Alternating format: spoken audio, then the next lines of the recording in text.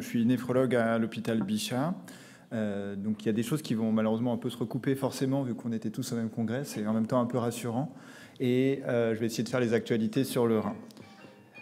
Donc euh, bon, j'ai un petit profil un peu basic science aussi, donc je ne vais pas vous immerger, mais il y a eu quelques actualités sur la science fondamentale dans l'amylose et en particulier sur le Rhin. Je dirais juste deux petits mots parce que c'est un peu des thématiques qui m'intéressent, mais euh, sur un travail de l'équipe de, Jonathan Wall à l'Université du Tennessee qui ont développé des, nouveaux euh, euh, peptides fusion qui permettent de localiser l'amylose et potentiellement de diriger des, cellules dans la digestion des dépôts amyloïdes.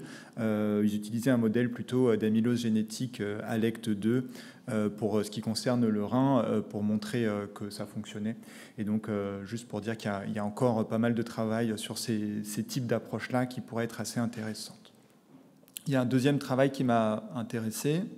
Euh, c'était euh, l'analyse euh, de, la composition immune des biopsies rénales de patients atteints d'amylose AL, parce que, comme vous le savez peut-être, l'amylose AL, quand on la regarde en histologie, c'est finalement des pathologies, en tout cas au niveau rénal, qu'on dit assez froides. Il n'y a pas beaucoup d'infiltrats immunitaires. Par rapport à d'autres pathologies plus immunes médiées. Et ils se sont quand même intéressés à regarder la réponse des cellules dans, ces pathologies-là.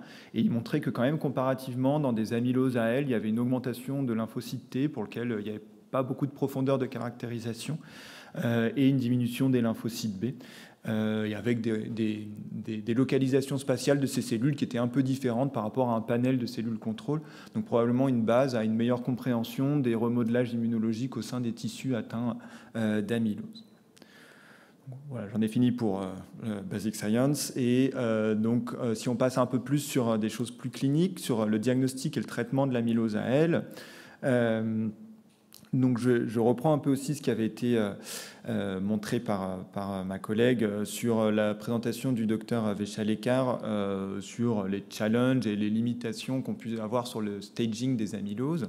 Et moi, ce qui m'intéressait de ce côté-là, c'était le, fait que le rein était un peu le grand oublié des classifications et des prises en compte dans les essais thérapeutiques, sachant qu'il y a une classification qui avait été établie il y a quelques années maintenant par le groupe des Italiens qui permettait de classer en fonction du degré de dysfonction rénale et du niveau de protéinurie des pronostics ou des risques de mise en dialyse des patients, et que finalement cette, cette caractérisation-là, cette classification était importante en termes de pronostics, mais était finalement assez peu utilisée en pratique et à la fois en pratique clinique et à la fois dans les essais euh, thérapeutique, ce qui était un peu un plaidoyer pour peut-être euh, l'utiliser un peu plus. Je vais reprendre aussi euh, cette étude que le docteur Roussel vous a présentée donc sur l'efficacité du daratumumab et du pomalidomide, donc cette association chez des patients en, en, seconde ou troisième ligne thérapeutique euh, traitée pour une amylose. Moi, principalement euh, pour euh, insister sur le fait qu'il y avait un taux de réponse rénale qui était extrêmement bon dans cette cohorte-là, avec 80% des patients qui obtenaient une réponse rénale, malgré le fait que ce soit une petite cohorte d'une trentaine de, patients.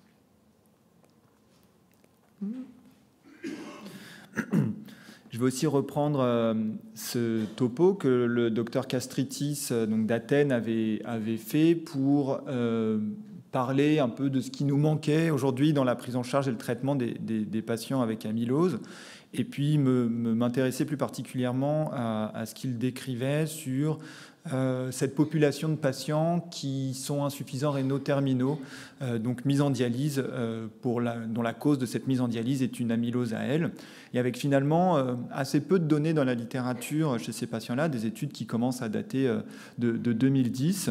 Euh, et qui montrait que bah, le pronostic s'était amélioré avec l'avènement des nouvelles thérapeutiques, mais ça a surtout mené à, cette équipe à aller regarder d'un peu plus près quels étaient le pronostic et les, outcomes des patients qui avaient une amylose à elle et qui devenaient insuffisants rénaux terminaux au décours de leur diagnostic et du début de la prise en charge.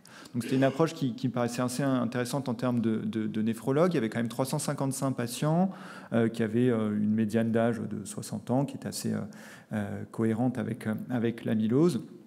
Et puis euh, qui démarrait la dialyse euh, pour la majorité, euh, enfin pour un temps médian de 18 mois après le diagnostic d'amylose. Donc c'est vraiment une population vie réelle de patients qui allaient s'aggraver de leur fonction rénale, quelle que soit leur réponse hématologique, parce que vous voyez qu'on a quand même parmi ces patients-là des patients qui sont en très bonne réponse hématologique, mais qui vont quand même évoluer vers la dialyse, probablement parce que les lésions rénales étaient déjà assez sévères au moment du diagnostic. Ce qui était assez intéressant, c'est que euh, ça permettait de donner un état des lieux des techniques de dialyse qui étaient faites. Donc, c'est ces, deux, ces trois centres euh, principalement européens. Euh, la majorité des patients étaient orientés vers l'hémodialyse, 15% vers la dialyse péritonéale. Bon, nous, c'est à peu près les, chiffres qu'on a en, en, France. Et seulement 10 patients sur la cohorte, donc 2,5%, avaient reçu une transplantation rénale. Ce, qui est, ce qui est assez peu, ce qui est pour le coup totalement euh, inférieur à la proportion de patients qu'on peut avoir euh, dans une population d'insuffisants rénaux chroniques euh, non atteints d'amylose. Et puis il y avait 10 patients qui avaient eu de la dialyse discontinuée pour des raisons de, limitation thérapeutique. Ce qui était assez intéressant, c'était que bah, ces patients ont quand même été pris en charge comme des amyloses. Euh, que euh, plusieurs ont reçu des traitements euh, ciblant les plasmocytes malgré la mise en dialyse, ils n'ont pas été oubliés, et avec des pronostics qui étaient plutôt pas mauvais pour une population de patients dialysés, et puis une analyse multivariée qui confirmait un peu ce qu'on avait dans, l'amylose en général, mais que clairement l'atteinte cardiaque était un facteur pronostique péjoratif de survie. le fait d'avoir un, taux de plasmocytes dans la moelle élevé aussi sortait en analyse multivariée. Et le fait de ne pas avoir euh, une réponse euh, hématologique profonde au moment de la mise en dialyse est aussi un impact euh, sur la survie de ces patients. Ça reste une cohorte de patients très grave. Hein. Vous voyez que 70%, 70 des patients sont morts pendant le suivi. On sait que les dialysés meurent d'à peu près 10% par an et c'était un suivi sur 60 mois. Donc on a peut-être un peu plus que la population dialysée mais on n'est pas, euh, pas non plus euh, très très différent. Et c'était euh, quand même des, causes pour maladies progressives dans la majorité des cas.